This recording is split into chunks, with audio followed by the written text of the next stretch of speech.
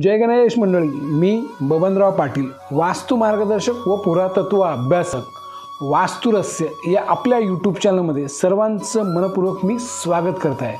मंडळी आजचा वास्तूचा सल्ला स्वतःची वास्तू होण्यासाठी आपल्याला काय करावे लागणार हे आज आपण पाहणार आहोत. तर चला पाहूया आपण आता. मंडळी मालकीची वस्तू होण्यासाठी अनेक अडथळे पार करावे लागतात.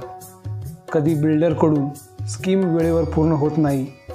कधी कर्ज प्रकरण लांबणीवर पडते परिणामी जीव अगदी मेटाकुटीला येतो. हे टाळण्यासाठी सहा पांढऱ्या सहा काळ्या सहा तांबड्या गुंजा घेऊन दर मंगळवारी एक पांढरी एक काळी आणि एक तांबडी गुंज जवळच्या गणेश मंदिरात जाऊन त्याच्या पायावर व्हावी.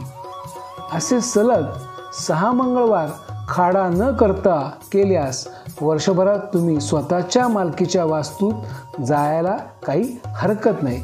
मंडळी वरचा प्रयोग करताना तुमचे घराचे कागदपत्र किंवा तुमच्या बँकेचे कागदपत्र जर तुम्हाला लोन काढायचं असेल तर त्याचे कागदपत्र हे तुमच्याकडे हे व्यवस्थितच असले पाहिजे.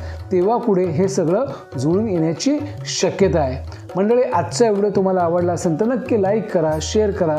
तसेच आमचे माहितीपूर्ण अभ्यासपूर्ण वास्तुशास्त्र आणि अध्यात्माचे व्हिडिओ पाहायचे असेल तर न चुकता तुम्ही आमचा वास्तुरस्य यूट्यूब चॅनल नक्की सबस्क्राईब करा. तुर्तता आज इथे संपतो. धन्यवाद. जय गणेश.